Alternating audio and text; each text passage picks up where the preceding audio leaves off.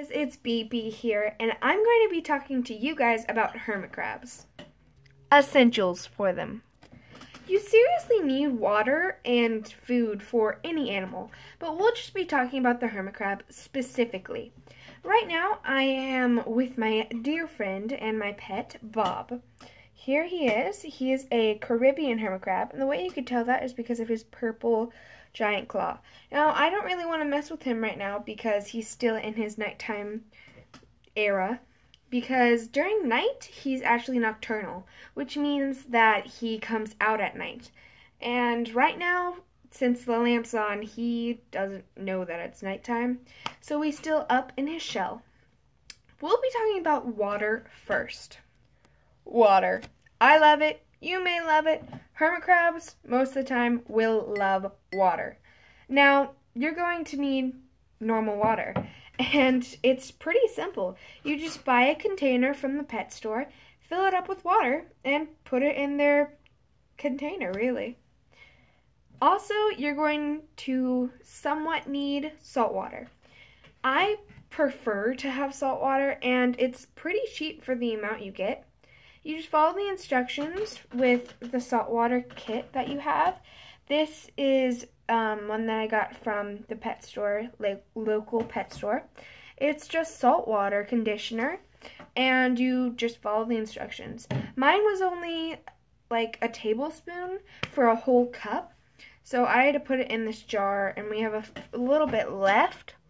But it doesn't even look like salt water. You just gotta know the difference between the two. And um, you're going to want that to be put in a separate container because you don't want them to be mixed around. The salt water is more like putting vitamins into a shell and making it nice, pretty, and all in all, just making him live longer and have a happier life. Water is just essential. I don't know where the myth came from where you needed a sponge for survival for the hermit crabs. I literally was like, ugh. In the wild, they literally don't have any sponges, okay? Have you ever seen a stray sponge just there?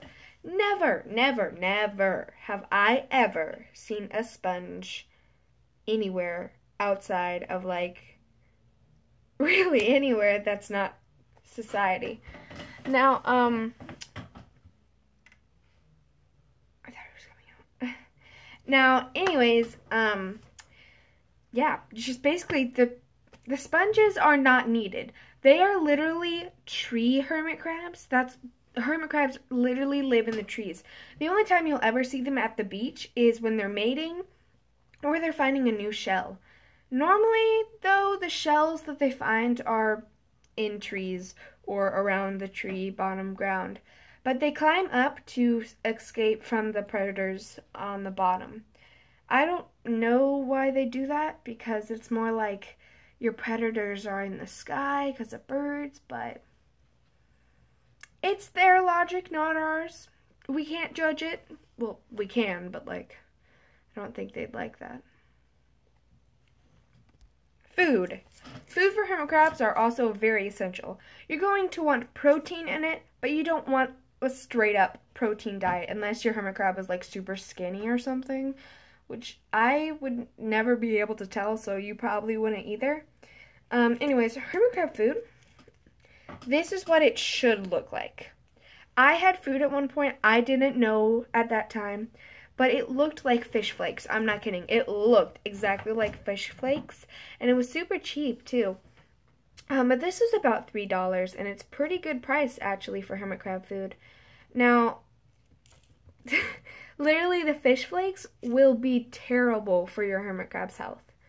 These are what you need to get. They're more like pebble shaped, and you need to put them bi-monthly, freeze them for 24 hours at minimum. It contains mixed organic grains, coconut meal, seaweed, mangrove sap, trace elements. Contents are balanced for proper development of cuticle skins during molting. Molting is when, sort of like hibernation for hermit crabs, but you definitely don't want to touch them during that time. Um, yeah, and it has 24% crude protein, which is perfect because you don't want too much protein, but you also want protein in their diet. Um, also about this, this is called Gardner's Hermit Crab Food. I'll repeat that again. Gardener's Hermit Crab Food. And um, yeah, I've been with this for I think over a year now. And it's my hermit crabs are way more active than they've ever been. It's just they love this food, really. I'm not kidding. This food is just like perfect for them. So that's all the tips for hermit crabs for now.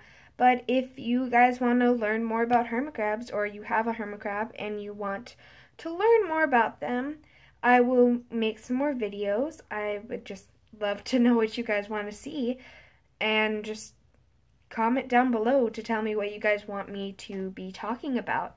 If you want me to go ahead and do an all my pets videos or what.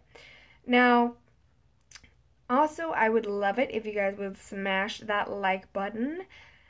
It really, it just, just knows that I, that you guys care. You guys care about animals and nature and the environment and Bob.